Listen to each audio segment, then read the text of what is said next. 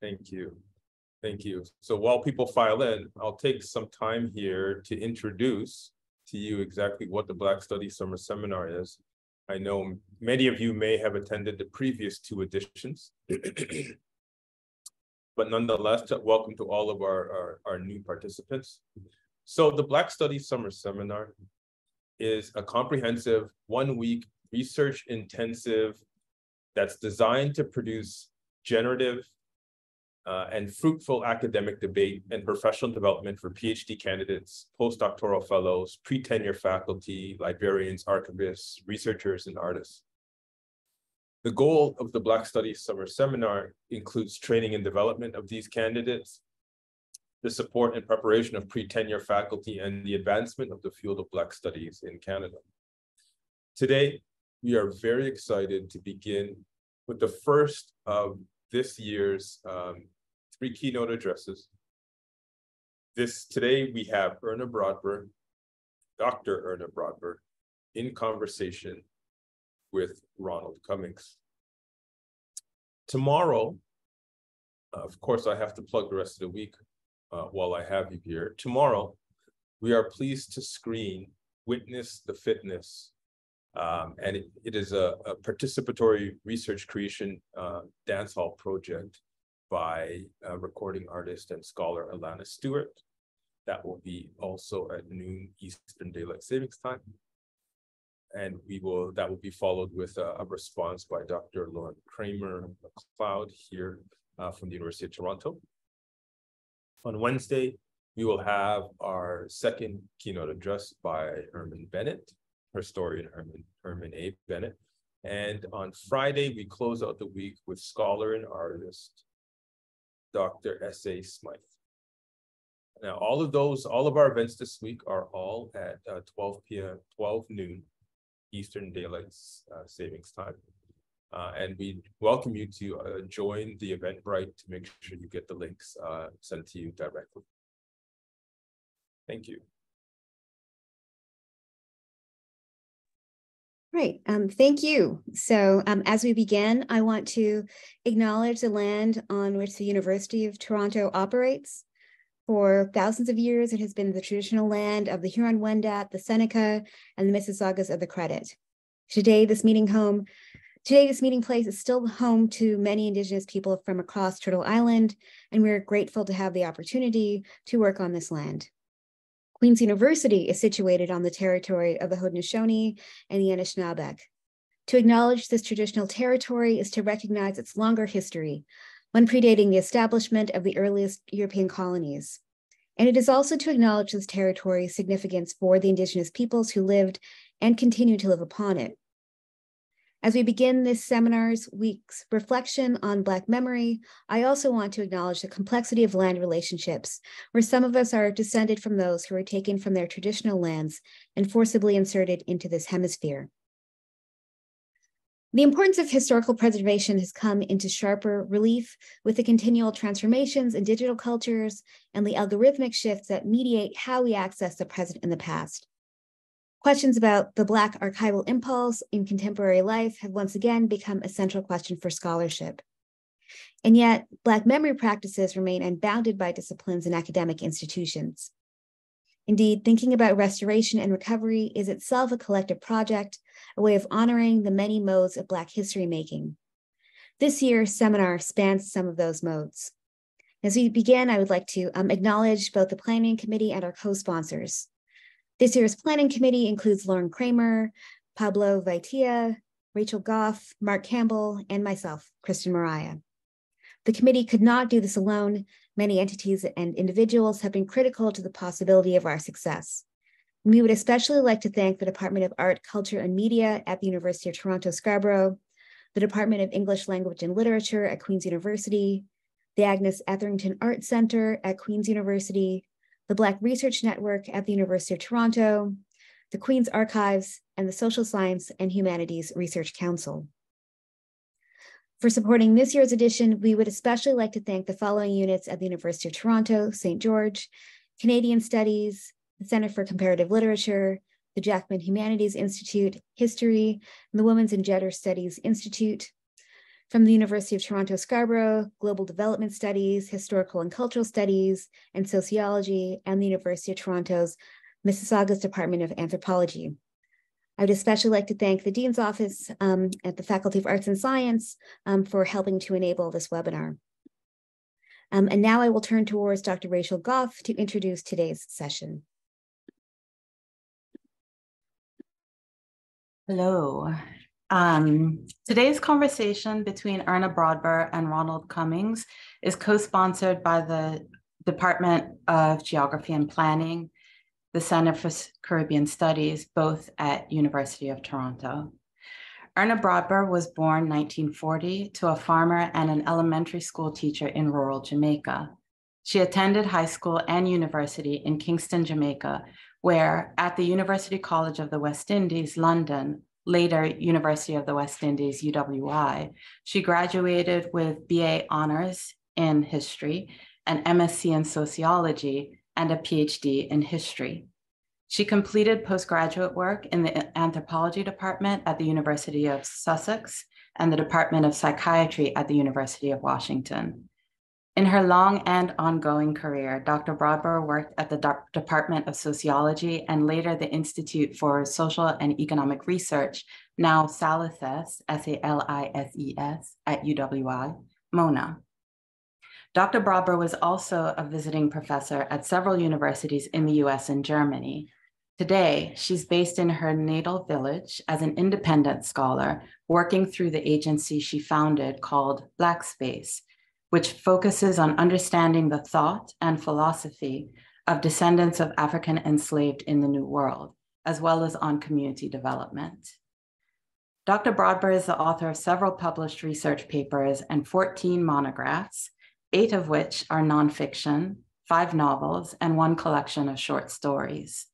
Her work has garnered awards from the Association of Caribbean Women Writers and Scholars, the Government of the Netherlands, the Government of Jamaica, the Institute of Jamaica, and the prestigious Windham Campbell Award from Yale University in 2017. Dr. Brodber is currently working on a book tentatively called Out of Wales and into Jamaica, The Brodbers, 1722 to 1922.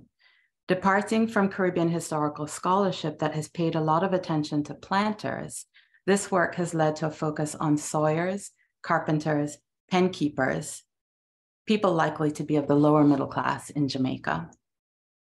And uh, Dr. Brodber will be interviewed by Ronald Cummings.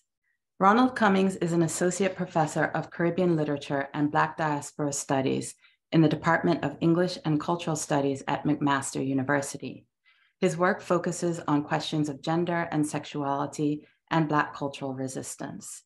His work has been published in various journals, and he is the editor of four critical volumes, including Caribbean Literatures in Transition, 1970 to 2020, co-edited with Alison Donnell. He's also the editor of Make the World New, The Poetry of Lillian Allen. Ronald is associate editor of the Journal of West Indian Literature and our brave correspondent is Juliane Okot Bitek. Uh, Juliane is a poet. Her collection of poetry, 100 Days, was nominated for several writing prizes, including the 2017 BC Book Prize, the Pat Lowther Award, the 2017, 2017 Alberta Book Awards, and the 2017 Canadian Authors Award for Poetry. It won the 2017 IndieFab Book of the Year for poetry and 2017 Canadian Authors Award for poet, sorry, uh, for poetry and the 2017 Glenna uh, Luschei Prize for African Poetry. Her 2022 A is for Acholi is a poetry collection that reflects on life as a Black diasporan person in Canada, and her 2023 song and Dread is a collection of witness poems that moves through the early days of the COVID 19 pandemic. Juliane lives in Kingston, Canada, on the traditional territory of the Haudenosaunee and the Anishinaabe people. She is assistant professor of Black Studies at Queen's University, where she is joint appointed in the Gender Studies and English departments. And now I'll hand it over to Ronald Cummings, who will offer some opening comments.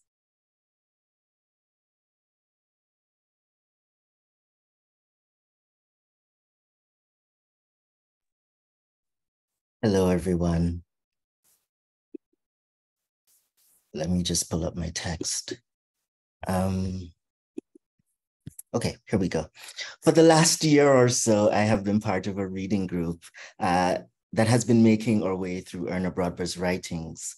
Uh, this group was initiated by Carolyn Allen as part of a larger project called Off the Page, which aims to animate Caribbean writing uh, in various ways through drama, explorations of literary sites, like doing walking tours, um, and most recently through reading groups and the practice of reading together as a way of animating texts and sharing them in community. So much of that, um, sorry, much of that reading and thinking uh, that we've been doing over the last year informed some of the questions that I will ask um, Dr. Brodber today. And I also want to acknowledge that at the start, as well as to mention Carolyn Allen, because she's someone who is dear to both Dr. Brodber and to myself. I mentioned this reading group also to situate this dialogue um, as linked to a tradition of Black study, because we're here in Canada, I will mention the CLR James Reading Group formed by Caribbean students in Montreal in the 1960s who read and reflected on James's work together and whose attention to his writing, particularly his book, uh, Black Jacobins, inspired the revolutionary intervention seen in the formation of the Caribbean Conference Committee, which was formed in 1965, the Historic Congress of Black Writers, uh, which took place in 1968, as well as the Sir George Williams University protest against institutional racism at what was then Sir George Williams University, uh, which happened in 1969. In thinking about the wider context of Black study that I'm invoking here, we might also mention the New World Group, which came out of the University of the West Indies uh, with important thinkers such as Lloyd Best and George Beckford. We might also think about Walter Rodney's practice of groundings with the Rastafari Brethren in Kingston, Jamaica, and the history of Saturday classes and evening classes undertaken by teachers and community leaders in various parts of the Black diaspora. So these practices exceed the university as a site of knowledge production. And I consider Dr. Brodber in particular a special figure within this tradition. Her formation of Black space in her community of Woodside, um, which has become a space of knowledge sharing, um, has been exemplary. And Rachel mentioned Black space at the start um, of this um, as part of her introductions. Black space is where, for example, the lectures were held that constitute the volume, the continent of Black consciousness. And I want to signal the dynam dynamism of that space by also mentioning one Sunday afternoon many years ago when, when I was commandeered into singing um, as part of a concert that was held um, at Black Space. And I remember this vividly, but also the sense of community uh, that it fostered. Um, it's a pleasure to talk to Dr. Brodber today as part of this exploration of Black memory and archives. Dr. Brodber?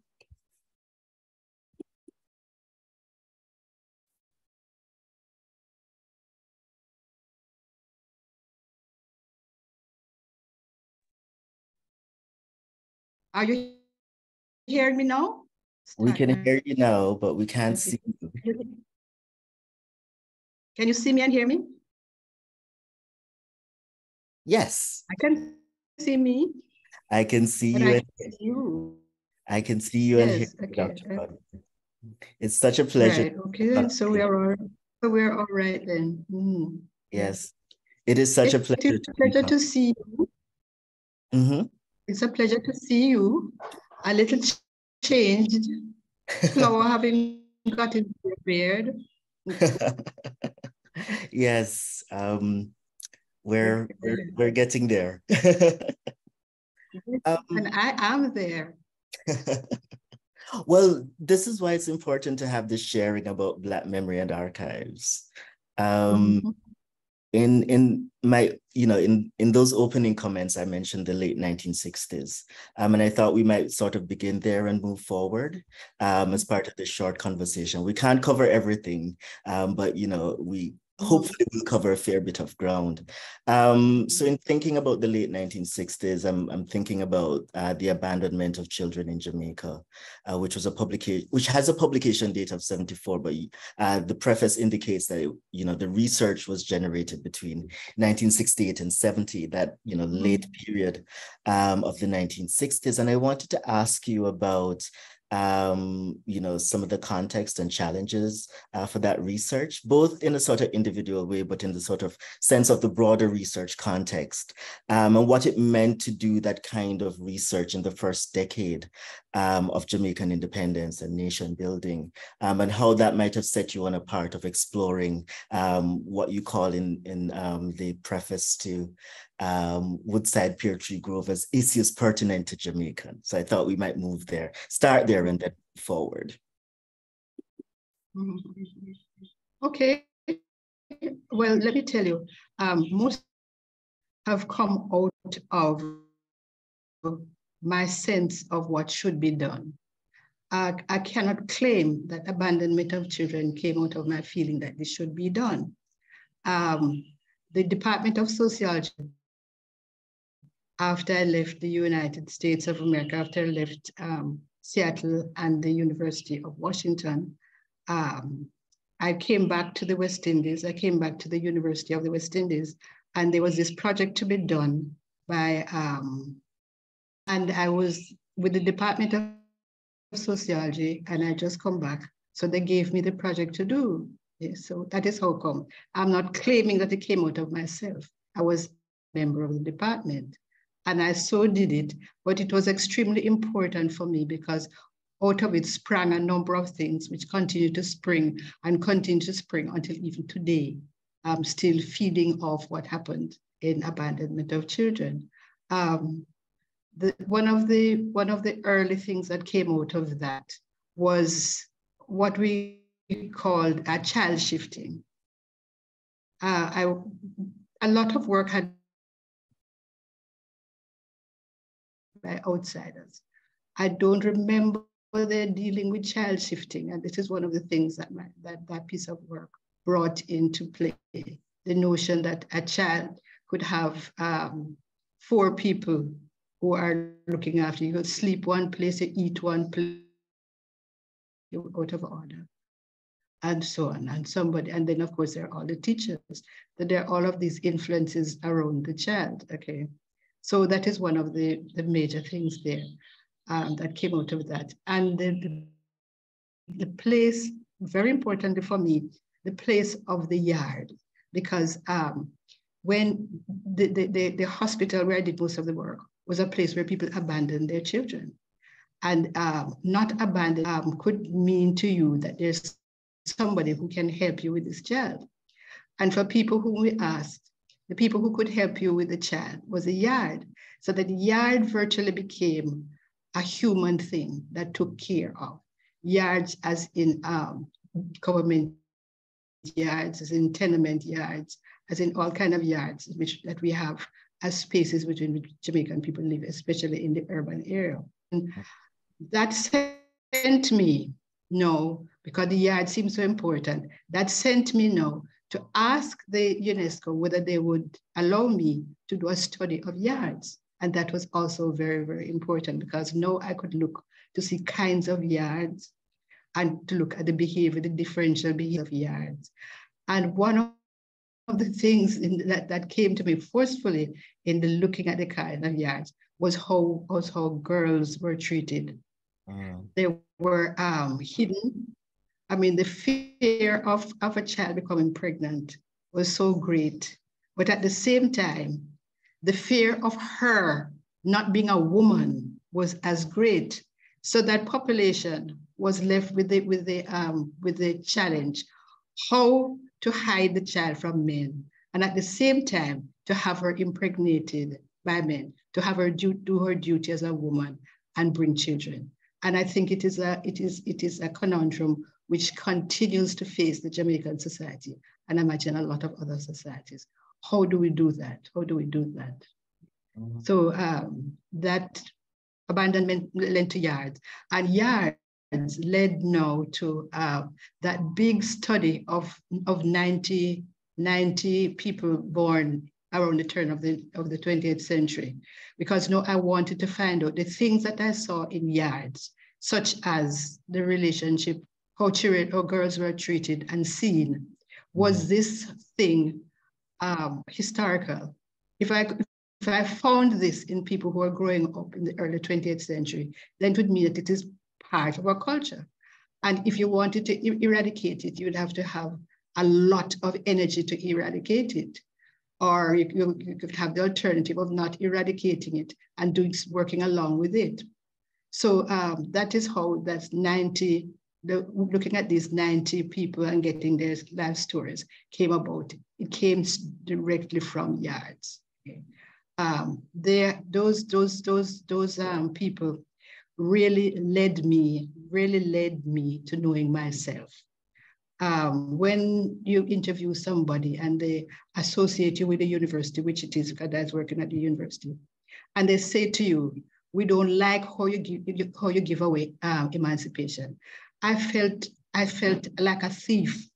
I felt as if I had let these people, let these people down, that I had given up their emancipation day, which is August 1st, and giving them something else that they could relate to.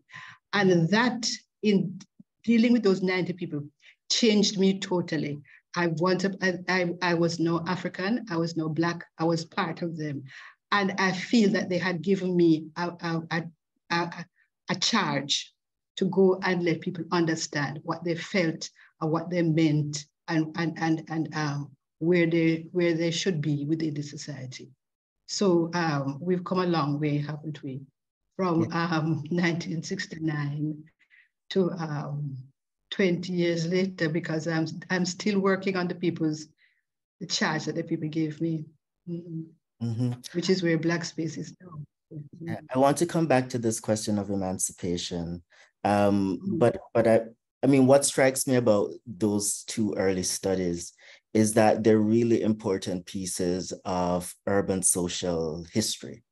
Um, and I mm-hmm. wondered if, I, I mean, you know, it seems to me that, you know, that early work on urban spaces stands out within the context of your work because much of um, your later work focuses on Woodside and you know things about sort of like rural um, spaces. So I, I, wondered if you might say something about like what it meant um, or what what was it like to do that sort of research focused on urban spaces um, in that early part of your your career.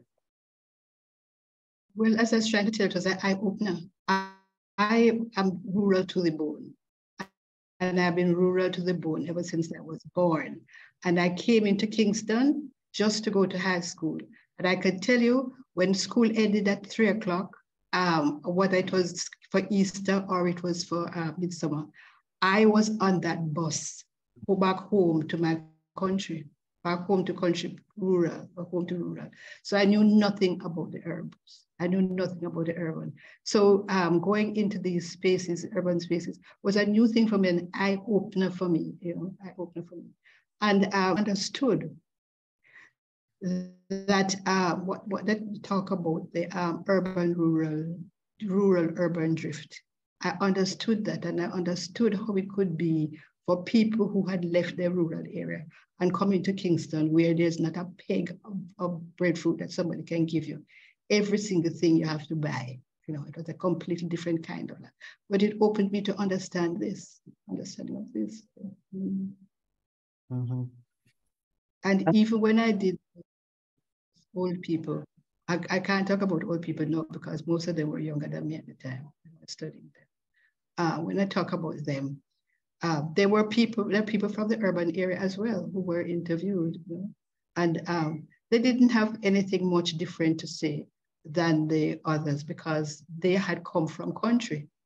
They had come from country. A nice old lady, Mother Ford, that I had a nice time with, she had come, she had run away from country.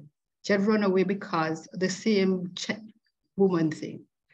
Um, she knew she she had gone to Kingston just for holiday, came back and was at a wake, and all the boys were around her looking and saying how pretty her hair was. And she'd taken off her hat. And somebody had gone and told her mother that she was flaunting her looks.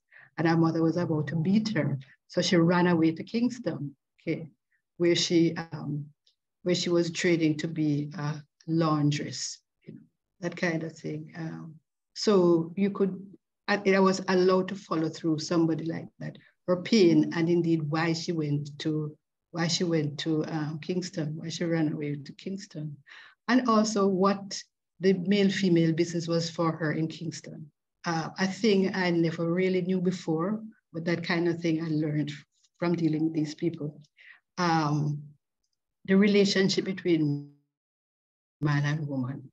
Poor Mother Ford got pregnant.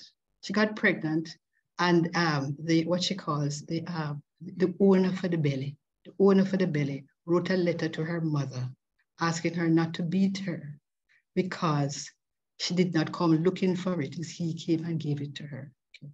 So they, they, I carried that through in what I'm finished writing now, man and woman story, in mm. that there is, when we look and we see all these pregnant ladies, I would believe that they're pregnant because they are promiscuous. There is a distinction. There is sex for sport, as one man calls it, and there is sex.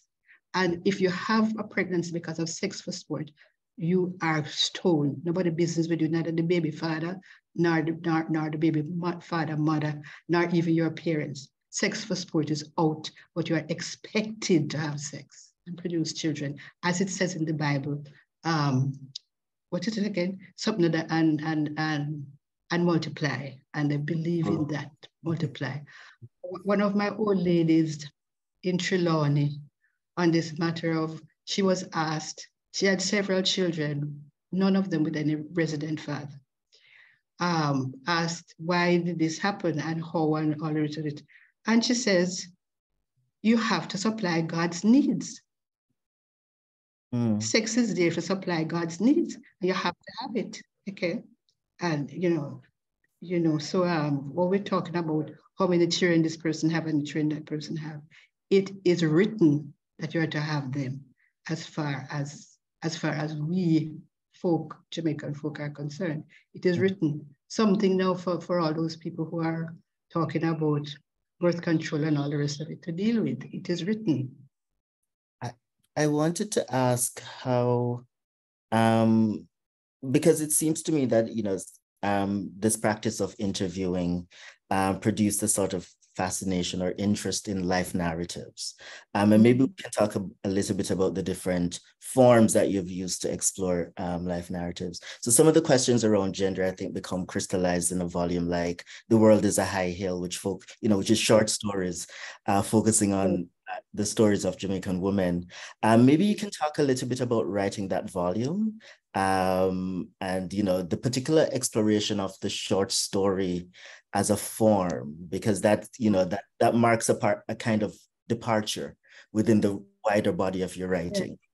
Okay okay. I'm not sure it's much of a departure.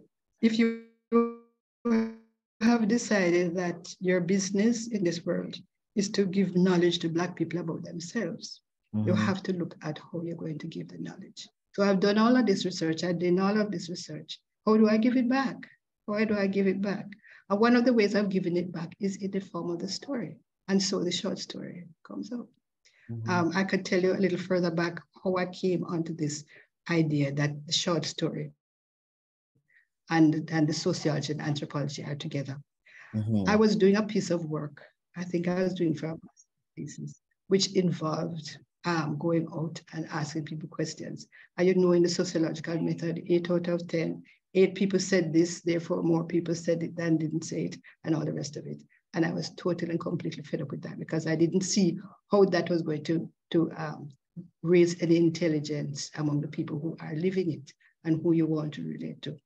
So what I would do, having interviewed a person, I would sit down and I would write a story about that person. Now, as it happens, most of us and all of us who are social scientists know that you store your interviews I stored one interview, and on the back of it was a short story. Well, I had friends at the time who were writers or who were trying to be writers, and I was a reader for a lot of them. When hmm. I read my short story, which was written on the back of the interview, I said to myself, but this is no, this is just as good as any of my friends' own. I entered it in the festival and it placed. So I said to myself, this is a form you could use. And that's how short story came into my life. Mm-hmm. I, mm-hmm. I, I want to. As, no, as a way of reporting as a way of reporting to the people what you have discovered. Yeah, I'm I'm also interested in and and here I'm thinking about the book um, Standing Tall, um, which mm. is stories of uh, Jamaican men. Um, yes, yes, yes. I'm interested in um, the the use of what is called in that volume oral biographies.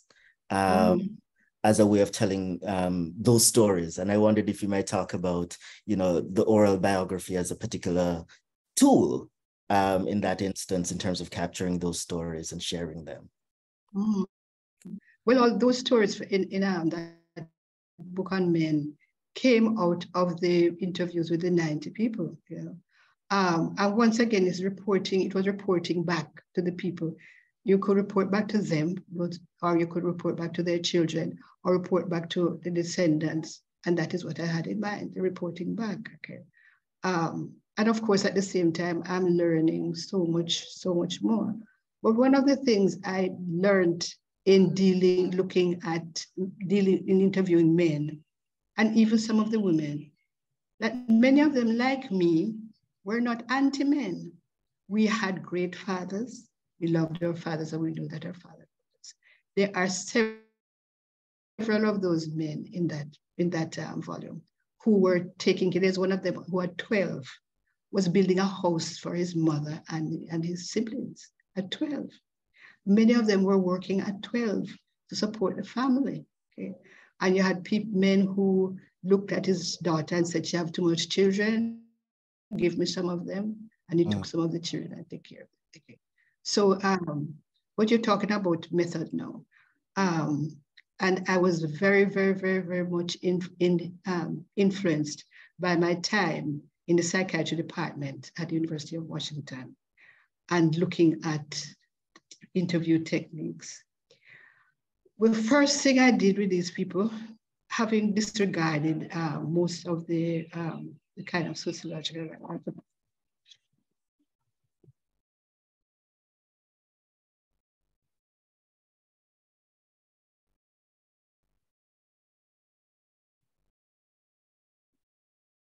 sorry about that. No, I've turned it off. Okay. okay.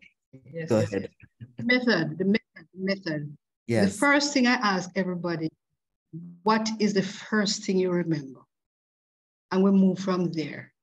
Um, people remember all sorts of things. One of them remembered going to school the first day of school and the earthquake of 1807 mm.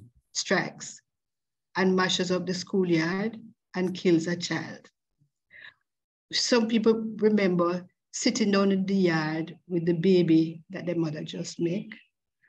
So this is where you are. If, if this is the first thing you remember, it must be significant to you. So, so I move on from that, from this thing that is significant to you. And when I finish with significant to you, if it does not um, throw any light on what is significant to me, then I ask the questions about what is significant to me. That was my style of interviewing. So, mm-hmm. which is really my. Mm-hmm. Can I ask a little bit about the, I guess, the afterlife? The, well, can I ask about that archive since we're talking about Black memory and Black memory and archives, the archives of those interviews that you did, because oh, that's yes. such a, that's such a rich collection.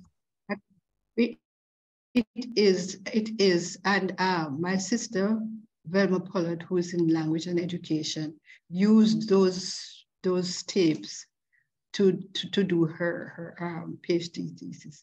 I mean, I don't know about language and stuff like that, but, um, but it was useful in that respect as a language thing.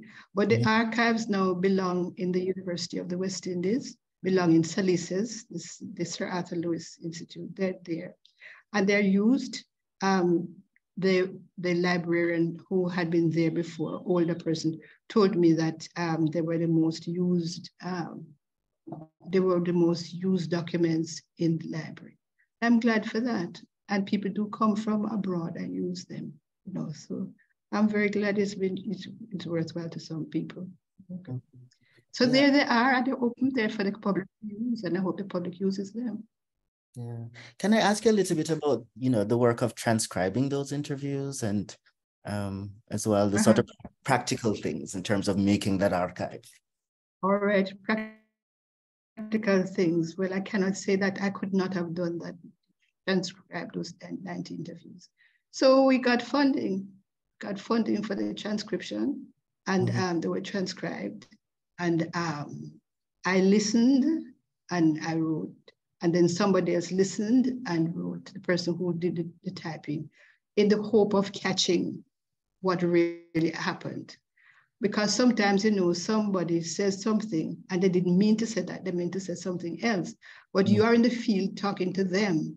So you understand that it was a slip of the tongue.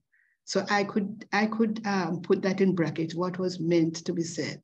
Um, where and the therapist would do put that in, but you would also, the person who's doing the, the translation, she would do what she heard, okay? Mm-hmm. And then it would be what I heard. So that's how we managed to do that. Mm-hmm. And the tapes are also there in SALISES that whosoever wishes to do some more work on that can do so. Yeah, no, it, it is such a such an extensive archive um, and an important. It is, it's 14, it's 14 volumes by parish, 14 volumes, parishes in Jamaica, 14. They're there by the parish. Mm-hmm. Yes. The the story of Woodside um, mm-hmm. is one that mm-hmm.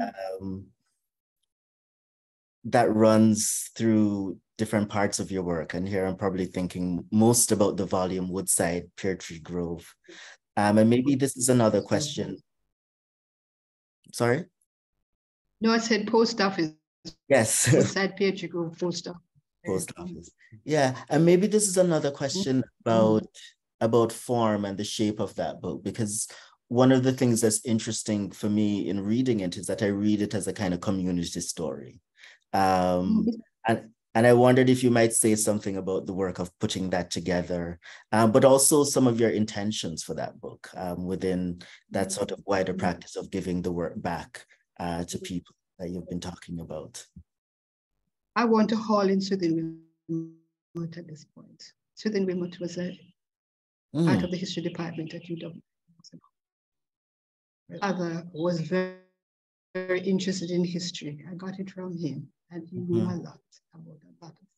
When he died, we decided not to have the usual, just so we would have instead a lecture. And Swithin came and did a lecture on, uh, I live in the parish of St. Mary's, so did my father, on voting behavior in St. Mary immediately after emancipation.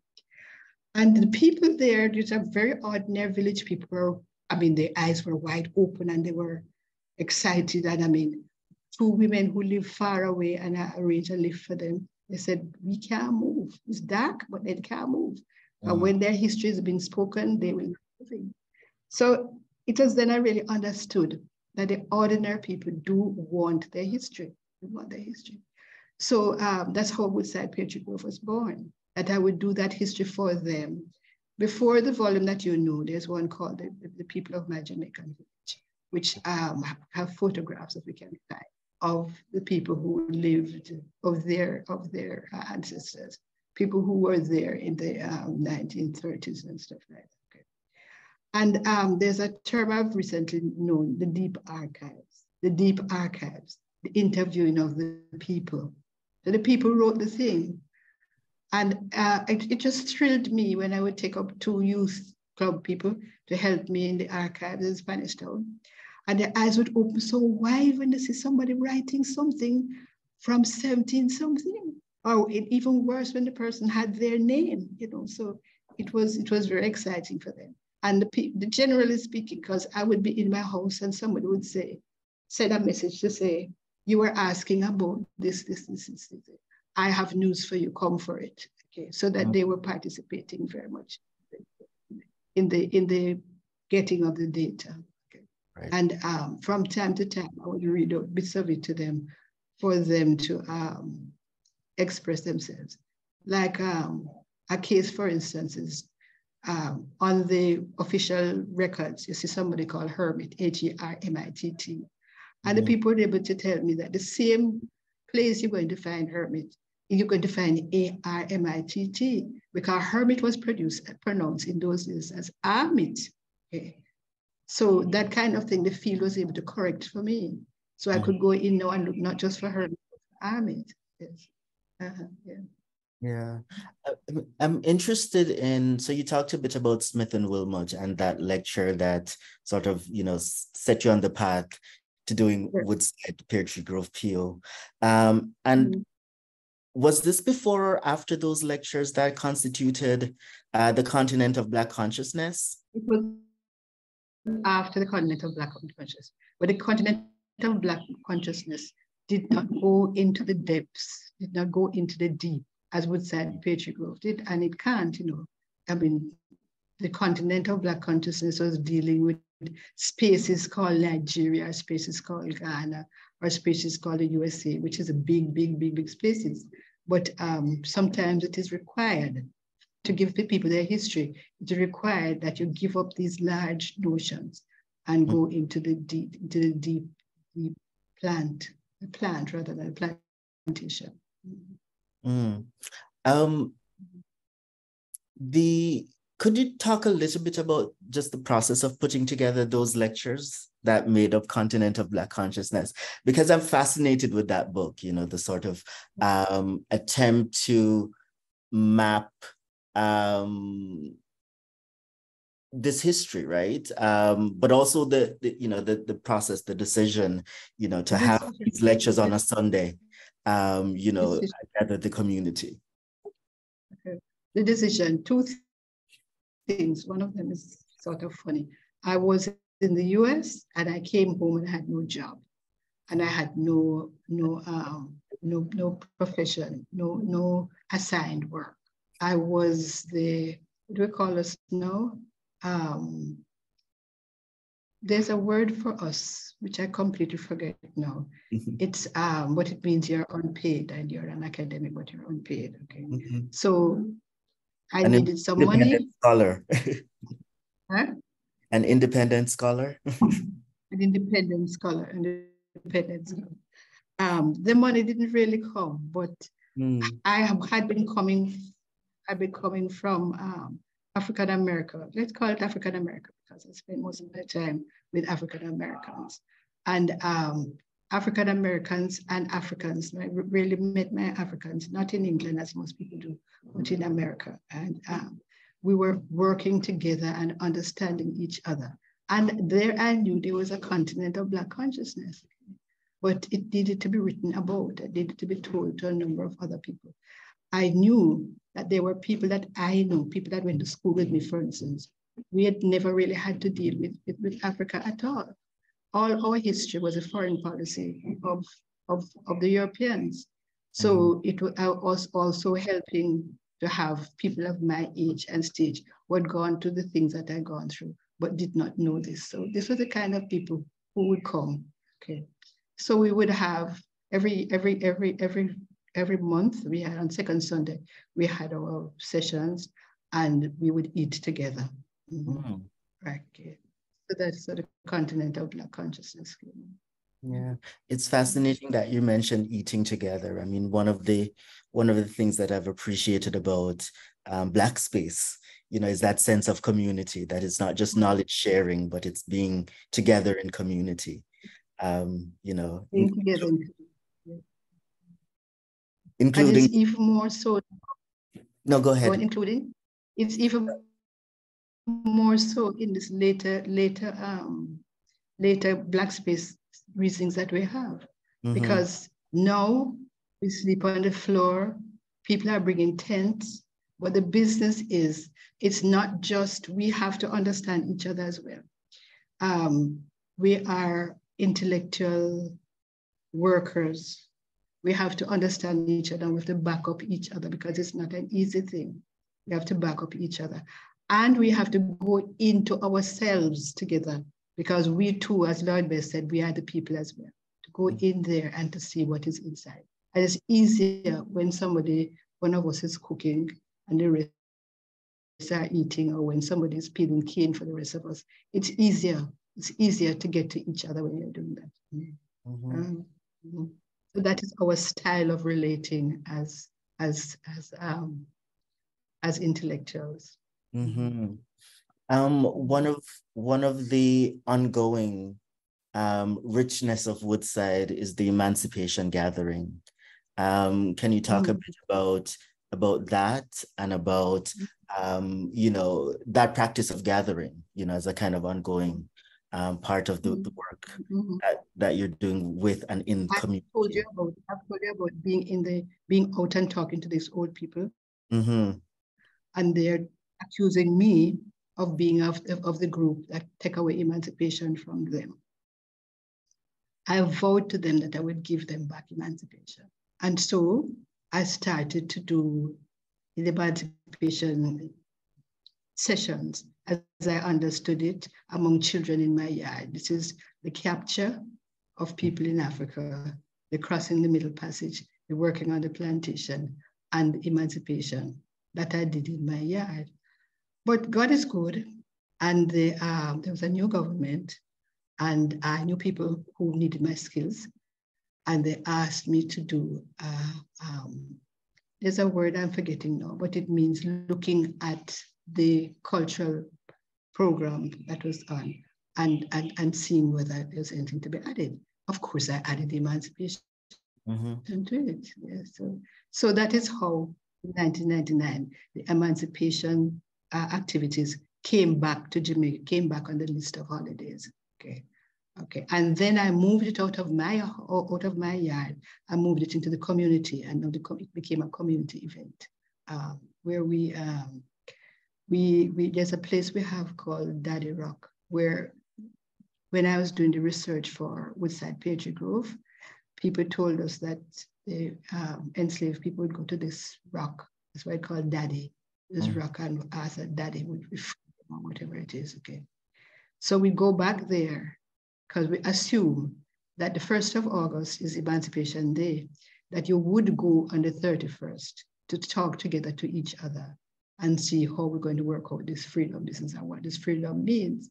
So we now, the current generation, go down to Daddy Rock on the 31st, the day before the first, to talk about our current problems, what this means and what that means.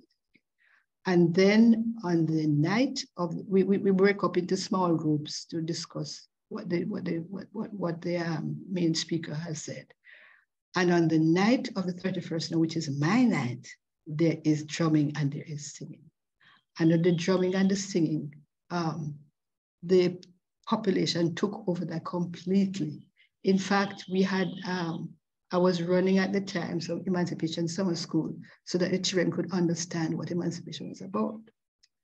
And we had taught, because uh, in, in that big study I'd done, people had given me songs which they sung at emancipation. So I was teaching them the emancipation songs, different red, different beat, different everything. When I went to the to, to the um, the function, which is the drumming, and the, there was none of those songs there. People had taken it over. They had taken it over, and the drums rang, and the drums rang, and the drums rang. It was a different kind of music that was coming out of that. But they mm-hmm. took over that. They took over that. So it became a thing. The community took it over. Took it over and on this that is Saturday. And on the on the uh, not Saturday, that is the eve of Emancipation. On Emancipation Day, people had told me about how um, you could hear uh, morning of the August 1st, you could hear the rolling and the stamping and the jumping as people in their houses rolled and gave thanks. And in my house, that is a lot of noises made with the rolling and the stamping and the drumming. I don't know that other people are doing it, but they're advised to do it. And then we get up and we go up onto the mountain, a little hill, where mm. we're told there's evidence that the enslaved people built their own church. Okay? So we go up there and there's ecumenical, whatever it is. Anybody who feel like saying, as the spirit moves you, you say something. The spirit don't move you, all I was stand up there. But the spirit usually moves somebody, so we have that too. And then we come down to the um, replay. There's another word for it, but it escapes me now. Because I wrote, I wrote a play. Huh? The reenactment. Reenactment. Yes, I wrote this, this, this reenactment because no, you go and you do the research and you write the books. Not everybody reads. Not everybody can buy a book. And not everybody is interested either in reading and buy a book, but you want the information to get to people. So the reenactment gets the information to people. So, uh, so um, what we tried to do in that play was to find the people whose names we know associate them with emancipation and with slavery, and give them parts which they which we imagine their ancestors would have had. In this way, you learn, you learn your history, you learn the past, and I hope get a relationship with the past. I was at university with somebody called Orlando Patterson, who never was my best friend. But since he, since we've grown up now, his book is one of my best friends because inside of it, he talks about freedom and slavery. And one of the things about a slave is that he does not have the capacity to link with his ancestors, to learn from them, and to develop something out of that. Know, until, and that is one of the things I took to Woodside. If we can, if we can look at our ancestors, understand where they're coming from, understand what they're about, understand their language, understand the meaning they gave to things, that we're making a link with them. And we that is one of the ways in which we free ourselves mm-hmm. from, well, you know, from what? Free ourselves from the stuff which we were taught, which has nothing to do with us. Yeah. yeah. So um uh, yeah. One of the one of the interesting things in you know that rich response you just gave was the sort of thinking about history as not just that thing that is held in books or or on shelves, right? So talking about Daddy Rock, but also talking about a sort of um, communal sharing of, of, of stories. Um, when I first went to Woodside years ago, it was one of the um, first spaces that I encountered in a sort of real way a sense of a Taino heritage in Jamaica you know, this indigenous mm-hmm. heritage. And I wondered if you might talk about mm-hmm. the importance of doing that research um, as well and sort of excavating that history alongside mm-hmm. the work that you've been doing around Black histories in, in, in Well, the Taino you know, last year made me Bohito, which I carry Bohito. Bohito means um, wise old woman. And I will take that one. Mm. All right. I did not know that in Woodside Pear Tree Grove I had written so much about the Tainos, but they were they tell me that they, their jump off point was there. Now we've always known, we growing up in Woodside, for instance, there are set of steps going up to the church. We've always known them to be the Arawak steps. Now we know them to be the Taino steps.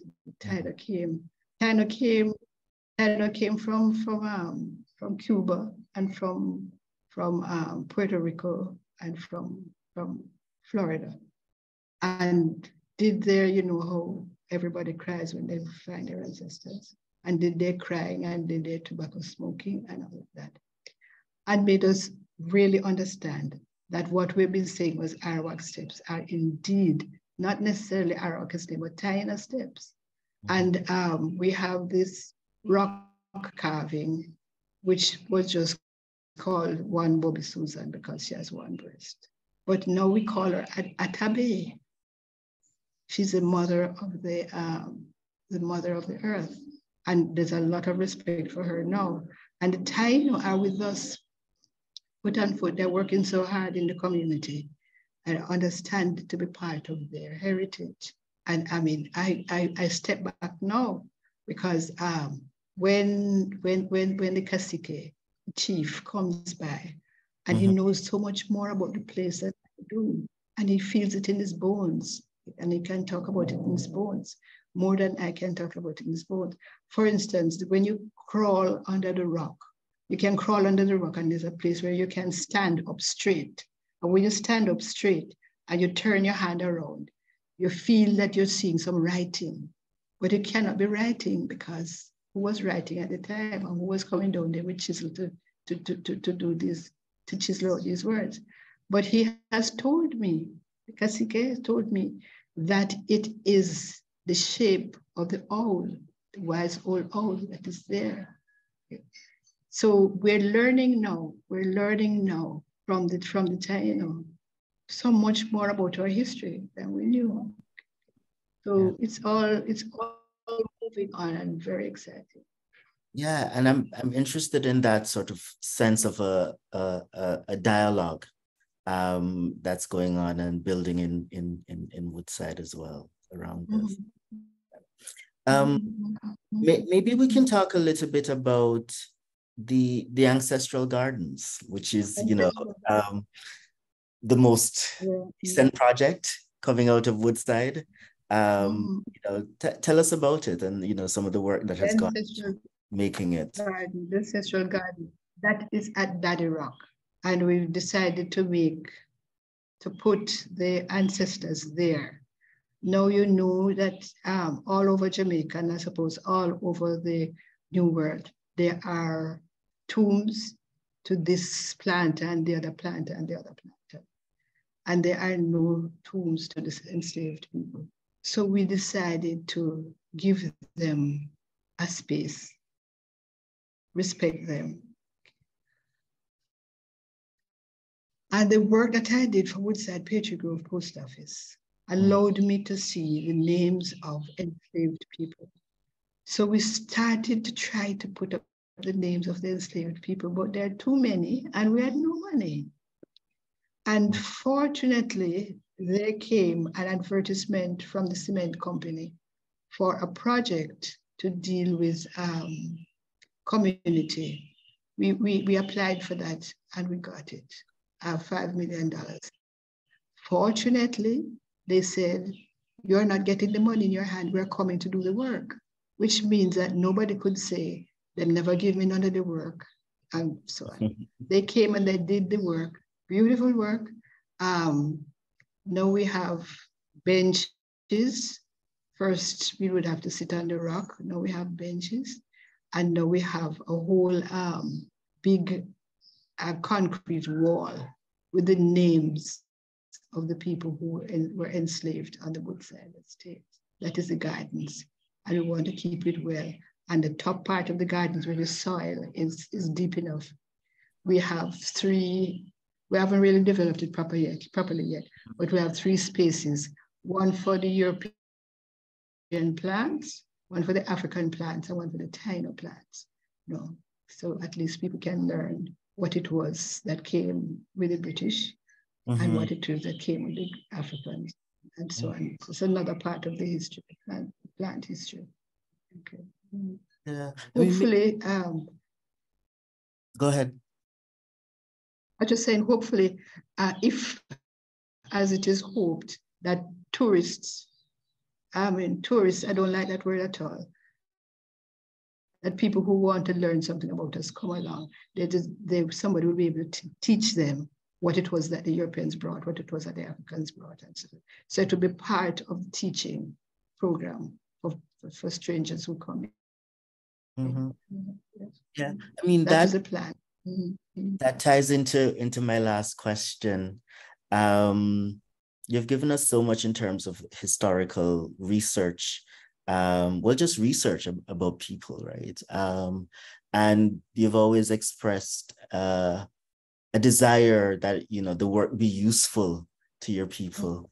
Um, I wondered if you might say a little bit about um, how you hope people will use this work going forward. I mean, both the work in books, but also the sort of work that you've done in community. Um, yeah. Mm-hmm. All right. Well, one dreams. Communities don't are always in flux. People have to move out because they want to go to university or to college. People have to move out because there's no money around and they go to Americans. People, so, so you, the people who were excited in 1999 to see what we're doing are not the same people anymore. And you have virtually got to work on these people again to get them a sense of themselves. Okay. It is, it is, it is, it is distressing. But one of the things we, we're, we're reopening, we're opening the ancestral gardens this year in, in, in um, July, late July, August. And one of the things I envisage, every time we've had our, our ceremonial opening, we've had the descendants, descendants are there apart so that people recognize that it really is true. There were people who were enslaved and there were people who have children and, and all like that. And even the people who are descendants to know that this is where we're coming from. Okay. What I would like to do this year is to focus some more on the descendants. Focus some more on the descendants. They, they do the prayer and they do a little preaching on those days, but I want something more than that. I mm. want them grouping themselves together. I want them shaking each other's hands and mm. understanding that they are the basic the basic roots of the community.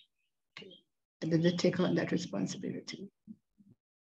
Mm-hmm. I, I get an idea came to me when I was down in the, the um, gardens with a taxi man. His name is Barton. And he saw his name on the list and said, what my name doing down there?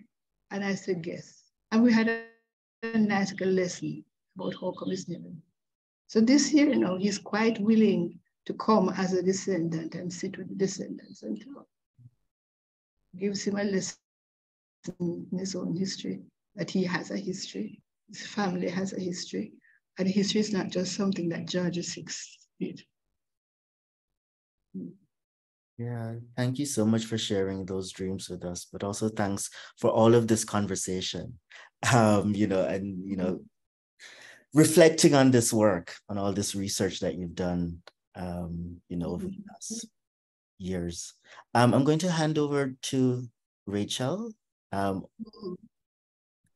um, to take us into the next part of um, this session. Thank you so much for this conversation, Dr. Brodber.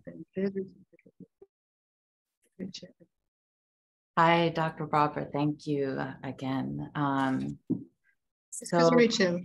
Rachel, I have something to say to you, which okay. I'm saying right now. The driver asked if you were my daughter. Mr. Hart wanted to know if you were my I'm looking to see which part of you was my daughter. Uh, okay, I told him. All right then, good. I would I would be very honored. So if you see something, just you know, we can just pretend to we keep looking. Yes. uh, so before we ask Juliane uh, for her reflections, um, I want to um, mention again that uh, Dr. Brodber has a completed manuscript uh, that is ready for publication. Uh, a study in fiction and sociology called Man and Woman Story. Uh, Dr. Brodber, you did mention it, but did you want to tell us anything more about um, about about? I don't mind. I don't mind telling at all about it.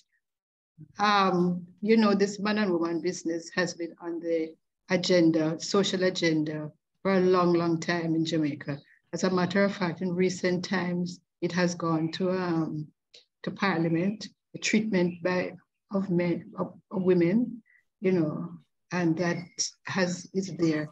So I thought I would put my little two cents in from the stuff that I have I have researched and stuff like that to see if I could understand, we help, help us understand why there's so much um, distress between males and females in Jamaica. And probably, I don't know, I don't think it's in the world, but there is in Jamaica, beating up, even killing and all like that. Yes, yes. So that is what it is. What I have done is um, my mother used to keep a scrapbook I was very hesitant to throw it away, although it was there from 1937. She was waiting for my sister to be born in 1937. And she clipped out things, and the things she chose to clip out are things like um, how a woman should, should work towards to, to treat a man, her husband, and um, that it assumes that every every young girl wants that little house with her husband and a child. And um, well, I mean, I, from the work I have done, I try to point out that if men and women go into that notion that every woman wants a house, a little house. Is a little house with a baby, then they're going to be in trouble because not every woman wants a little house and a baby. Not every man wants a little house and a baby. But people believe, if people believe that that is it, then there's bound to be fight and and and and, and thump up and, and, and fall down. Okay? And of course, um, well, I mean, I go into much more with the history of the thing. Like uh, there was a time when um, the man could was the head of the house, could be the head of the house, because he could be the economic head of the house. But from the 1920s on and stuff like that, that died out. When um, women, for instance, education came and young women were sitting exams in the same way as men were sitting exams and we're doing very well. I mean, you look, a woman could look at a man and say, that's a dunce. He might be a man, but I don't want a dunce around me, you know. So um, women could be looking critically at, at men. And um, the, the, the, the, the price, the sale price on men started dropping from about that time. But women still still married. They married and knew that they were not getting getting what it is that they had they had bargained for. So there has to be knock up and stuff like that. And then if you look, I looked also at the um some of the folk songs, like um, like um, well, I didn't do before me married and go hug up mango tree, live some. You know that one? Before me married and go hug up mango tree, will live some one. Well, that is the woman talking. But there's ones, a lot of ones where the men are talking about how um, she all she do is red manicure her finger. She don't do anything in the house. And, and or others talking about is only when payday come that she come and you see I doing anything. A lot of stuff, a lot of anti-woman stuff is there in the folk songs. And I'm asking women to look and see if it's true. Is mm. that how we behave? Because I mean, I don't suppose it would get in the folk songs so much if a little bit of the truth wasn't there. So we have to look and see if in fact women are exploiting men. Because anybody exploited and find out that they're doing right is going to respond and react, going to you down and realizes that again. So that's the kind of thing I've been doing to show, ask us to look at um, look at the situation and to see to also note the change that has happened, and that um, we have to we have to um, understand that the change has happened, and therefore there's going to be there's going to be some sort of twisting up and shaking around, which we have to accept. Mm-hmm. Thank you. That is most of it. Is, yes. Okay, good then. Mm-hmm. I'll be back for Q&A. So here we have we have Juliane now. Hello. Um, shall I just go? Hi, how are you today? Hi, hi everybody. Um, uh, hello to you. Okay. I, are you okay? Okay. um, so, so this has been fantastic listening to you in conversation. Thank you very much for giving us the time for this. Um, I'm hoping to do a response and I had prepared some remarks. I'm waiting. I'm waiting. but let me begin by greeting everybody who's in attendance. Um, so good morning uh, to those who are still morning, afternoon, or even good evening to people who are coming in. Um, my name again is Juliane Okot Bitek, and uh, sometimes people call me Otonea, which is my actual name, and that's okay. I'm an assistant professor at uh, Queen's University, Black Studies, um, but I'm joint appointed in English and Gender Studies. And I'm also a poet, which is important to note because you can locate yourself in my obsession with single words. Um, I begin by referring to something that came up in your conversation to ground myself here about my earliest memory, because you talked about um, when you were doing interviews, um, some of the earliest, you'd ask people what their earliest memories were and the significance of those earliest memories. My earliest memory is of back door, kitchen door opening, and there was my sister and brother who I had never met from my father and that's my very, very earliest memory. And uh, when I think about why that is significant, is that I have lived in uh, Canada for more than 30 years, and I have hardly seen my sister and brother who live in Uganda now. And I think about how they and me, uh, we carry each other's memories. So it's not just about siblings being having um, blood relationships, but it's also about us carrying each other's memories. And then to think back then to how you relate in your work of interviewing people and asking them about what they remember and how everybody carrying memories contributes to the creation of Black intellectual knowledge. But the work doesn't finish there. It's about also returning that knowledge back to the people in terms of short stories and work that is accessible so it doesn't remain in the archives, in the data and all of that. I want to express my gratitude to the organizers of uh, the Black Studies Summer Seminars for this awesome annual gathering, especially Dr. Kristin Moriah and Dr. Rachel Goff, who welcomed me to the space and made it comfortable for all of us in this panel. And I'm really, really honored to be responding to this remarkable conversation. I begin with the word cusp, which is a word I got from uh, Myal, the 1988 novel by Dr. Brodber. Uh, not as a reflection as the character Maydene was thinking about as her favorite word. Um, those of us who are poets tend to obsess over words. And, and when I find a character like Maydene who has a favorite word, I can totally relate to that. But I want to think about cusp as a way to orientate us and think through this conversation. Um, reading that novel, which was set at the beginning of the 20th century and featuring a community experiencing um, different spiritual practices itself at the cusp was for me the experience of being at a cusp because I was also now taken there to the beginning of the 20th century and I was experiencing it with them.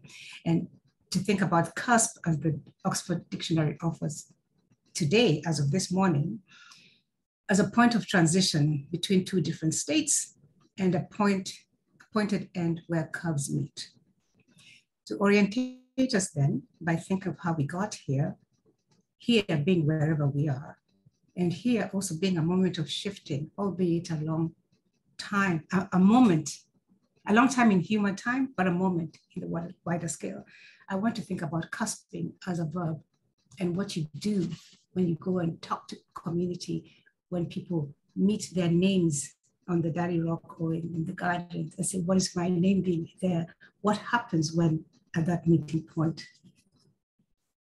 I'm speaking to you now from a land called Kingston, which was called Kingstown, named 400 years ago in this place. But it's also a place that was had the uh, Algonquin name of Catarokwe, which itself is a meeting place, again, a cusp. I come from northern Uganda, Acholi people, born to exiled parents and now living here on the land of the Anishinaabe people and the Haudenosaunee Confederacy. In my Acholi tradition, at the beginning of a gathering with visitors, someone, usually an elder, will welcome everyone and then orientate us to the lands that we are on. We meet here today from many lands, many traditions, many practices, many Black diasporas, some similar, some not, again, a cusping. The cusp also as an orientation from the brilliant Dr. Denise Ferreira da Silva, who reminds us that extraction is an economic practice and coloniality as the juridical form that facilitates that extraction. So to think about us living in a capitalist time where the work of extraction and coloniality keeps us at a particular cusp, even as we're doing this work of trying to remember, to, to find ourselves again, um, to meet ourselves, to go forward, to continue the work of freedom. So rather than remain in our, our interdisciplinary silos, for, uh, Denise Ferreira da Silva compels us to think with all the disciplines and beyond to locate ourselves in the cusps now of the global catastrophe that we find ourselves in, but also to think about the work of freedom as you're teaching us, emancipation, relearning our relationships with our ancestors, and looking around to see, to name, to learn who we are and where we are. I want to bring into the room today also that the Ugandan President Yoweri Museveni has signed the Anti-Homosexuality Act in 2023 into law, which is amongst the strident, most strident homophobic laws anywhere. So if we look around and everywhere there's a sign, how do we know how to read them? Um, I'm compelled by um, the, the Taino elder that you told us went down to a cave and looked at um, and felt on the wall some writing and it was in the shape of an R. How do we learn to read where we are? How do we know what we sound like in this moment? Where our solidarities and our acknowledgements of our siblings in Uganda and elsewhere? And also to think about the intellectual work that is not just of looking to create an archive or spending time in an archive, but it's also spending time together so that um,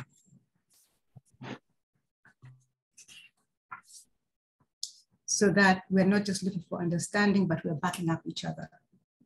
And so that, as you were saying, we go into ourselves together while somebody else is cooking and cleaning and taking care and taking turns and that kind of thing. So intellectual work is also social work, is also work of being together. I think about the connectedness of this moment, this gathering, and in the context and alongside all of, of the events around us, how do we get to this moment? to this place, to this cusp, and to what reckoning does this cusp as a space and a verb bring to us? How do we remain responsible to the people who share their stories, as you told us? How do we give back and contribute to Black knowledge and emancipation gathering? I want to just say that here in Kingston is the third um, celebration of, uh, we're getting ready for the third celebration of Emancipation Day, the, only the third. Um, so thank you for reminding us that this is work that is ongoing for a much longer time, but it's also complicated by the fact that every generation is different and every generation needs to keep learning. And therefore the work of freedom is ongoing. Um, it's an ongoing project and process. So thank you very much.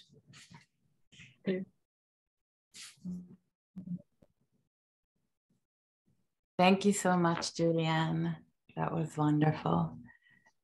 Um, I so we're we're gonna have uh, uh, some time for questions from the audience.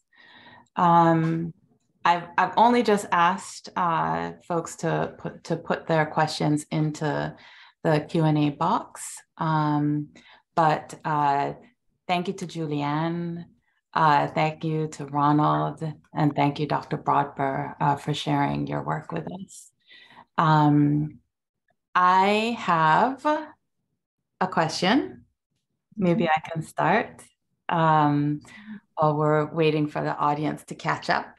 Um, so I also just re- recently read Myal, uh, one of your novels, and um, for so uh, for me, um, who my my grandfather and my and my great grandfather were both Methodist ministers.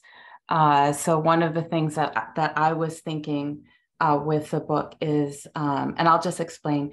Uh, so there's a character, a young woman, uh, who through the book is uh, is uh, coming to consciousness following a, a traumatic marriage, and then when she returns to her community.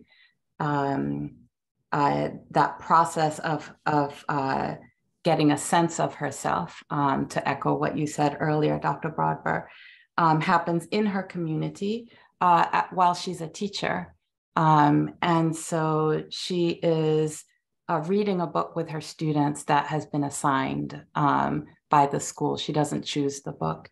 Um, and she's struggling with the book. And so, and so this kind of facilitates um, her uh, uh, process of coming to a sense of herself.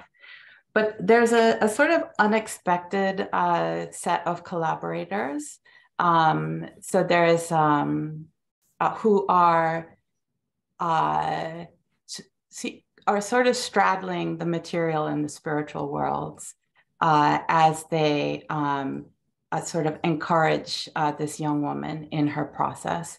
Um, and I say unexpected because they span uh, Methodists and Baptists, um, who are, so the Methodist uh, minister is identified as a spirit thief. And in collaboration with the Baptists, uh, both of these denominations are popularly understood as, um, as denominations that assisted uh, post-emancipation in, um, in, in uh, Black people getting uh, land and establishing villages. Um, but uh, in calling the Methodist a spirit thief and in having this collaboration between the Methodist minister's wife, Maydene, the character that Juliane pointed to, as well as um, uh, the Baptist and Miss Agatha, um, that uh, that I it feels to me like you're commenting on Jamaican history in a way that that also echoes um, many of what you that is actually clearer to me in from listening to you uh, talk today. And so I was wondering about that that group of people um, and the process of uh, Ella coming to consciousness. If there was something that you wanted to say about that. Oh, well, will say something about that. There's those people, about four of them, the Methodist, the, the Baptist minister, um, All African, Mas Silas, whom we made in the first chapter, and um, Mother Hen, and coming in now is a white hen, are very important spiritual beings. They will materialize from generation to generation, which reminds me of what I heard Juliane saying. From time to from from from from um, time to time, there are spirits that will materialize and will take on whatever form. But remember, it's not easy to get the people to understand. So you have to be there and you have to be there. And the spirit of, of, of, of, of 1838, if it is to exist in the 1840s, will have to have a new body, but the same spirit. And in 18, 1938, it will be the same thing, but the spirit is there but it will have to have a new body that is doing the work. Okay? So those beings are, are, are, and they're not just to stand by themselves as a four who are there from time to time. They will have to recruit. They'll have to recruit. So um, Maydene is recruited. And she's recruited because although she is white, she does understand by virtue of the fact that she grew up with a father who was a priest, but also who understood um, genetics and who understood um, that there was something to the African um, past and the African understanding of things. So she's taking her time and they're taking time with her to bring her, in, bring her in. And um, it is hoped, Maydene hopes that her husband, the Methodist priest, will come in, but it's going to take him a great deal longer to understand because he's brought up in, and I, I, I had some time working on the Methodist archives in, uh, in England. And so I do understand from having the, the difficulty which a lot of those Methodist people had in dealing with the African oriented religions. The Baptists had a much easier time. Many of the Baptists were indeed Blacks, but the Methodists were um, sort of quasi um, established church and had great difficulty understanding. So that is how it is. It's not that he is a he is a spirit thief all the time. He's talking about what my people need and my, my people need. And Maydene said that what you are saying your people need is to be like me. I, I don't think I'm perfect. Let the people be what they are and you learn from them. That's what she's saying to him. Okay. But it will take him some time. You're, you're with me? That is how it is. It will take him some time. The spirits are there. And I, I do believe that the spirits are here too and will be with us for some time. But the spirits can't make it alone. The spirits have to operate in bodies. And we will have to be, be um, trying, they have to, they're trying to come into us. We have to try to understand them and carry on the work which they began, like say in the in like like say from 1831, the work which they began, the work of emancipation, the work of freeing us the work of, um, of Bob Marley and Marcus Garvey of helping us to free our minds. That's been going on for some time. And we need it again today, and we will need it again in the next hundred years, unless there are people whose bodies the spirit can work, work with, work on, use to do the work.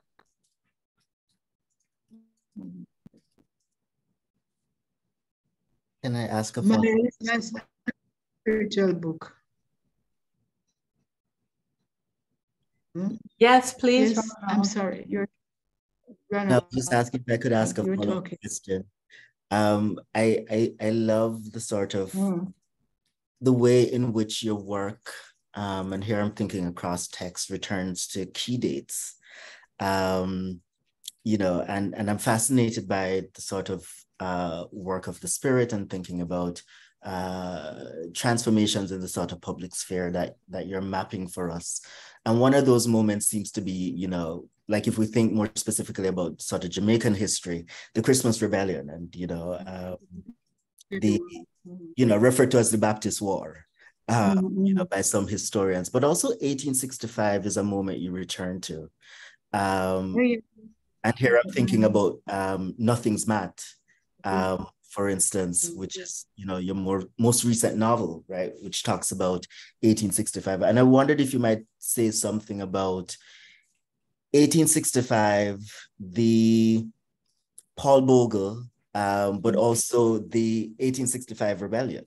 Um, you know, and and and how that fits into this question about sort of historic moments, but also transformations in the spirit in the public sphere.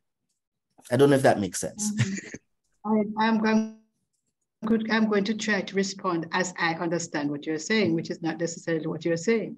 Yes, yes, yes. I um, I want to, I want to, I want to say again that it happens in 1831, it happens in 1865, it happens and it's going to happen. It will continue to happen. It will continue to happen. All the Paul Bogle's work that they have done, it is still going to happen unless somebody is willing to take over from the Paul. And um, that work there, somebody did a review of it and said that um, I had recreated history, but what she meant was that I had made the Maroons unpleasant. The Maroon men had raped the woman. That I had made that unpleasant for the, um, and that is not the image of the Maroons that exist, but it's not the image of the Maroons that exist but it is indeed so. I didn't make it up. Before I wrote that thing, I read the um, the the investigation into the, the, the, the Maroon disturbance. And there are a number of people there who said that the Maroons did this and did that. And in any case, the Maroons were collaborating with um, with the English in in um, turning over Paul Bogle. And it was not the first time because they co co co collaborated in the Tacky rebellion, we have to accept that it did. And I think too, that work is there for us to do in bringing the Maroons and the rest of us together to understand each other. If we have to say, I'm sorry, say, I'm sorry, it happened, it happened, and it will happen again and again and again, unless we do something about it, unless we're honest about it, okay? Uh, uh, Ronald, I don't know if that is what you wanted, but um, that is the kind of thing that comes to me when that kind of question about the Maroons, the Maroons come in. Thank you. That's that's a really full answer. I mean, I I remember reading that novel and being really struck by the figure of the maroon man. Um, you mm. know, um, and the kind of way in which you're asking us to grapple with that history of mm-hmm. of, of, violence, right? As as part of that archive. Okay just over the weekend, when there was a, uh, in my village, there was a, what they call a areito. The Taino um, had their ceremony for the rainy season, also the beginning of the year. That year begins in, on March 26th, not March 26th, but May 26th for the Taino. And they have asked to have their session in Woodside every year. And we're happy to have it. But um, no, not but, and at their ceremonies, they're always maroons. They're always maroons seated up at the table, the heads of the maroons. Okay. And I beg them not to let the establishment come between the Maroons and the Tainos, because I see that they're setting up to do that. The Maroons and the Tainos and the rest of us have therefore to get together and, and um, stave them off by ourselves, looking at ourselves and coming together. Yes, okay, yes. Mm -hmm. Yeah, that is it. That I think that question of of um, Black and Indigenous relations is, you know, it's so important and differently articulated in different places. But in Jamaica, I think we have a, a, a particular history that I'll just mention because maybe everybody in the audience isn't aware. But um, at the signing of the uh, Maroon treaties, I, I think one of the things that underlies uh, the, the tensions is that there is a clause written into the treaties that required uh, Maroon communities to, uh, to police runaway slaves. Um, but um, uh, but what we were, but what we learned as part of popular history uh, in Jamaica uh, is that the Maroons uh, were uh, were were race traitors uh, instead of um, people who had both heritages and were were implicated in a historical moment where they were able to establish some sovereign lands uh, but it was a complicated uh, relationship. Um, if I if I'm misspeaking, um, feel free to correct me. But I think that's some of the broader context of, of your comment, Dr. Brodber. So. It, it is. It is. And only at that area 26 did I understand that is not. It it has never been all all beautiful between even the Maroon you have Maroons in um, Portland, the Maroons in, um, in, in, in St. Elizabeth, the Maroons in St. James. It's not always been beautiful and they've not always been singing from the same hymn sheet. You know, I learned that um, the Maroons in um, the Maroons in in Cudjoe Town were the pre, pre, predominant ones once upon a time, and that the treaty, in fact, was signed with them, a particular kind of treaty but the Maroons in Accompong uh, wanting to get power um, signed another kind of treaty with the English, the kind of treaty which, which required that they give back what you mentioned there, that they police the place and that they give back runaways. That that was not in the original treaty signed in, in Town. The Maroons in, in Accompong that did that. That is what I'm told by, uh, by a Maroon elder. I do not know, of course, if that is true, but she certainly was very, very looked very much as if she knew, she knew it to be true. And the people are people, could be, because I don't understand how the um, the Accompong Maroons come to be so preeminent in everything, when in fact, Cudjoe Maroons, they are the ones who rose up in 1795 and got themselves um, badly treated, lied to, and then sent over into Nova Scotia. It was, it was the, the Maroons. So there are all sorts of things there that are underneath festering that we have to look at the history and understand human beings and as human beings try to sort out for ourselves. Mm -hmm. Yes. Thank you. I think uh, Juliane had a question. Yeah, I do. Um, thank you, Dr. Brodber. My question is about uh, creative writing. And um, yes. uh, I'm thinking about the character in Myal, who is a playwright. And he writes this yes.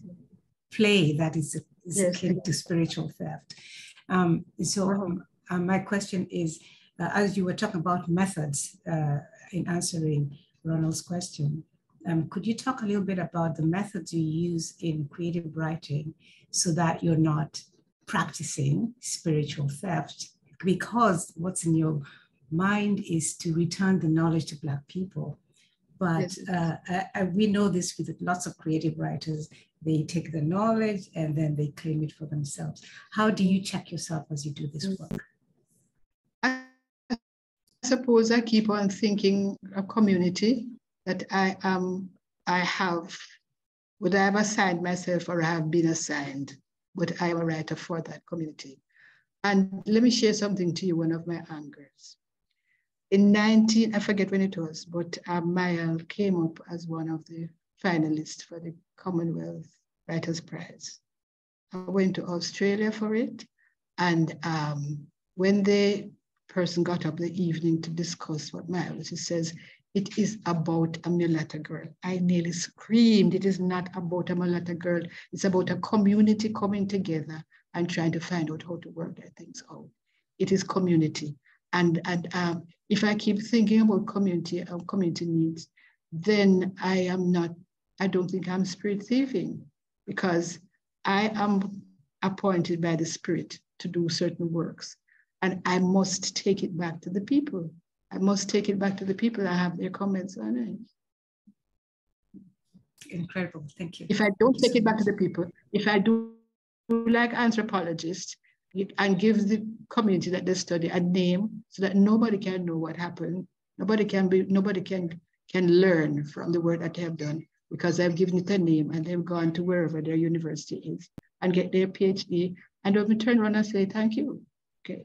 So no, no, no, I'm not in that class at all. As I always say, um, the native, the native intellectual has to find a way of relating. And I think we're finding it. Mm. That's great. Thank you so much. Mm-hmm. Can I ask another question that follows on from Julie's question? Yeah. Um, thinking about creative writing, um, I, as part of the reading group, we read your play Rat- Ratoon, um, and I wondered if you might talk about playwriting um, and I'm thinking about, you know, the, the, the form of drama as, you know, one way of returning work to the community. Mm-hmm. Um, you know, you talked a bit about, mm-hmm. you know, how that might function in terms of the reenactments um, mm-hmm. around uh, emancipation. Uh, but I wondered if you had other thoughts about, you know, playwriting as a practice and how that fits within uh, some of these questions of returning the work to the to the community. No, no, no, I have no intention of being a playwright, none whatsoever. But if there is something that I have to say and feel it is necessary to be said, as I've told other people already, if it requires that I go in the square and stand upon my head, I will do that. So if it requires that I write a play, I will also do that. But it's not that I'm a playwright nor an acrobat. It is that I carry through my responsibility to the people. So don't look for another play. Not unless I can find another way of, uh, of saying what I need to say. Of course, you'll ask, I'm saying what I have to say, but I'm saying it in a way which um, some students call head hurting. How do I how do I deal with that? The way I deal with that is that there's something called library, library. And and if you have a book in the library, it can be mm. there for 90 years. People grow.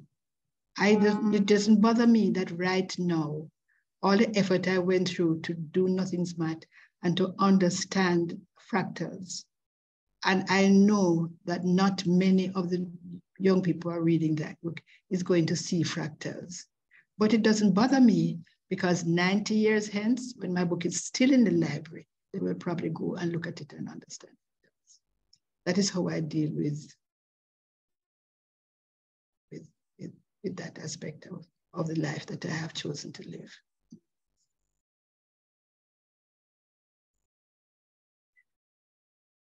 Um, I when when I met you first, Dr. Brodber, you mentioned something about um, uh, about you. You asked me where my research was, and I said I couldn't tell you.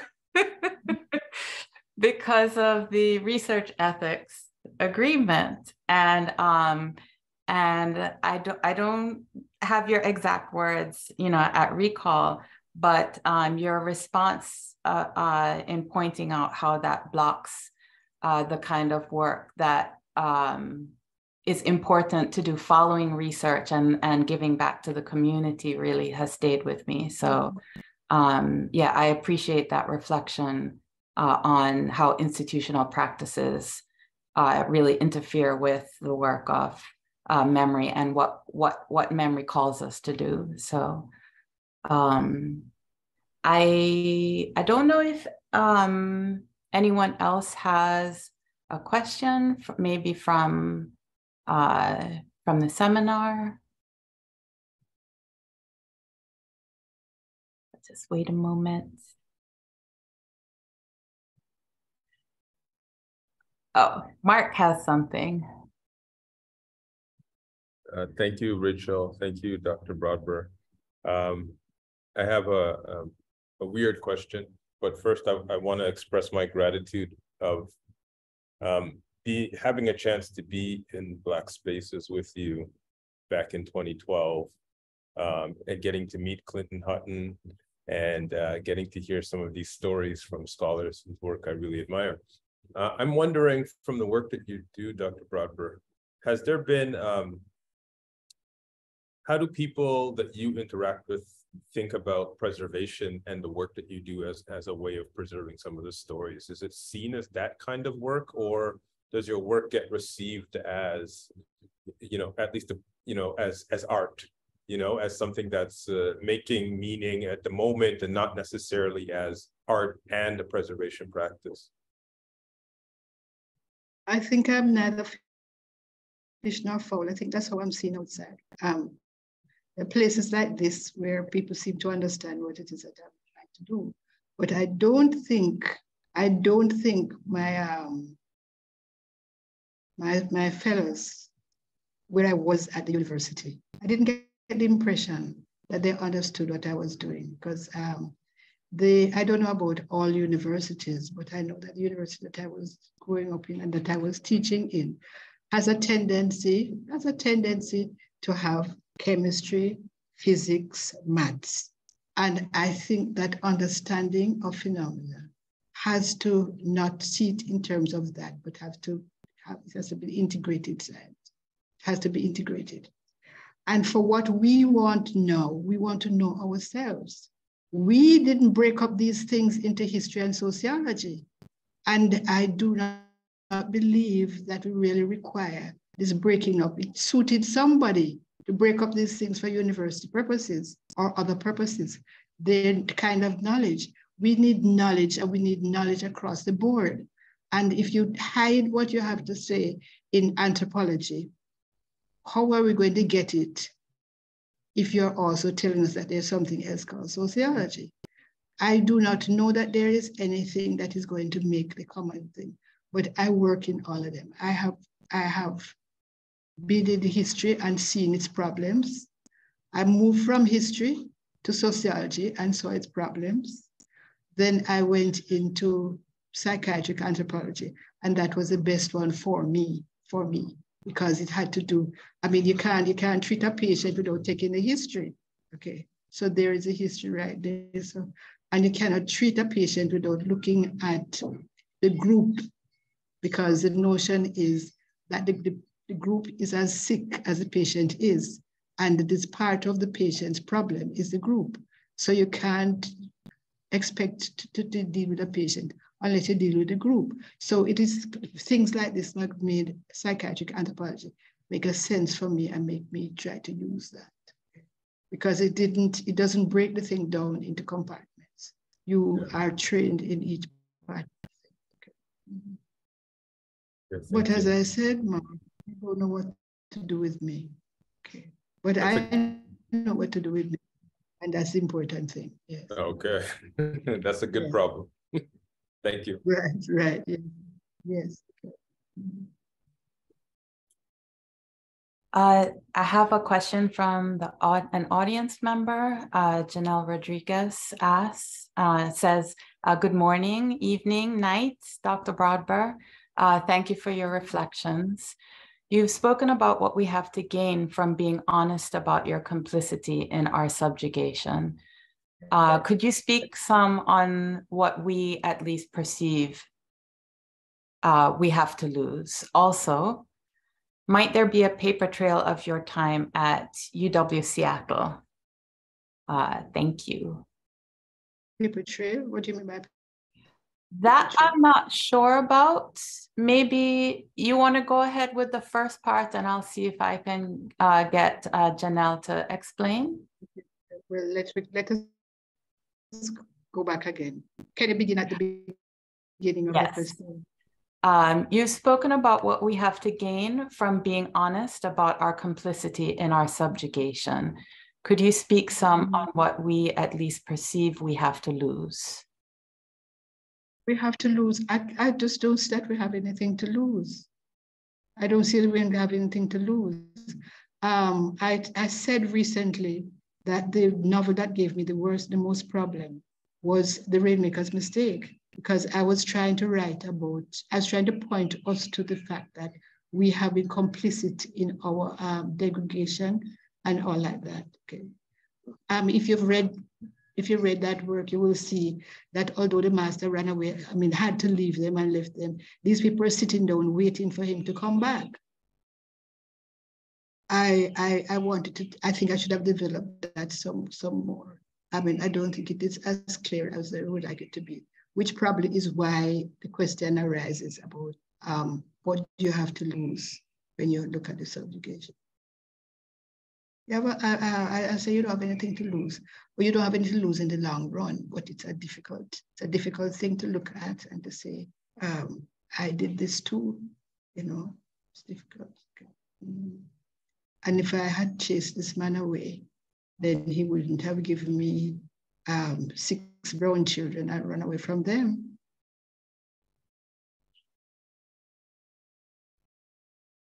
And the rest of the question, no, about the paper trail.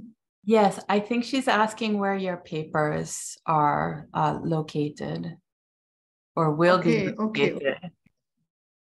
Well, that is a very good question because I spent a lot of time scraping up all these little pieces of paper and these old manuscripts, putting them in boxes.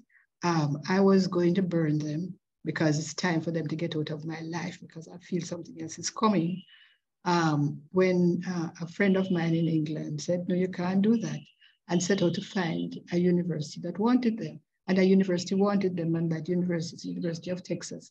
I forget which it is, whether it's Houston or, or the other one. But they were in, we're, we're in um, we're in conversation about those papers. And I think those papers will be there, will be there. I mean, just everything will be there, everything will be there, including photographs of me and my son. Mm-hmm. Yes. So that is where it will be. It will be. I have people who have said to me, why isn't it at the University of the West Indies? And the answer to all those people will ask that is that University of the West Indies did not ask for them. They don't simply, oh, I get money from the, I get money from the University of Texas. But it's not the money business. The University of the West Indies did not ask for them. I don't know if it asked for anybody else's, but they didn't ask for mine, which I think then I would be at the bottom, back of the line because I'm neither history, sociology, anthropology. They wouldn't know where to put me. They haven't yet decided that um, this business of of, of sharing up knowledge like a knife. This piece of slice over here, that slice over there cannot help us. We need to be much more integrated. So they have a problem, I don't. Mm-hmm. Yes. You're ahead of your time, Dr. Brodber, leading us into transdisciplinarity.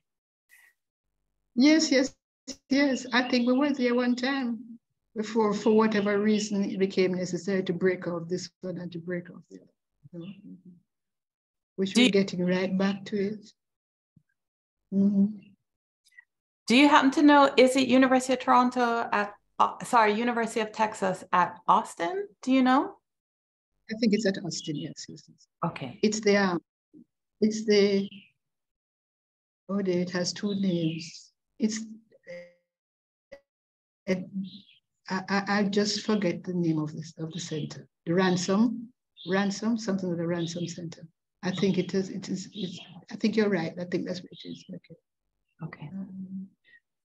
Um, well, thank you so much, Dr. Brodber. Uh, this has been a really lovely two hours we spent with you. Um, uh, thank you so much for your time and your work. Uh, thank you, Ronald, for your breadth of knowledge about Dr. Brodber's work and, uh, and your uh, always gracious and insightful uh, questions. Uh, and thank you so much, Juliane, for being our respondent and your wonderful reflections across the diaspora about Dr. Brodber's uh, work. Um, so I, unless there's any uh, housekeeping things here that we need to do before we wrap up, um, I'll just uh, say thanks to our audience for coming. Uh, something you want to say in closing, Mark? Yes. I want to say uh, something. I want to give thanks for the spirit because when this morning, when I realized that it was 11 o'clock and not 12 o'clock, I really lost my cool. But talking to you people, the cool came back. So I'm thanking the spirit for allowing it to happen. This is not even the, um, the, the, the, the machine that I'm supposed to be using. The machine I'm using was getting ready for me, but um, I was tumbling over myself and about to fall down the stairs when in, in order to get here for 11, quarter to 11. But we're here and things happened. So give thanks. I have nothing to say after that. We have to give thanks for you and uh, I'm so glad you were able to make it out today. Um, what I wanted to let everyone know that's uh, part of the Black Study Summer Seminar is that we have uh, a film screening tomorrow at noon. Uh, um, EDT at noon tomorrow. And uh, if you you can find all of these things on either our website or on Eventbrite. Um, but yes, we're lucky the spirit was with you today and that Dr. Brodber, you were delivered to us safely. So we're still counting our blessings. So thank you. Okay, it's my pleasure after all, after all the so it was my pleasure. Okay, yes, yes, yes. Rachel will talk because I still need to open your head and get some things out for my purposes.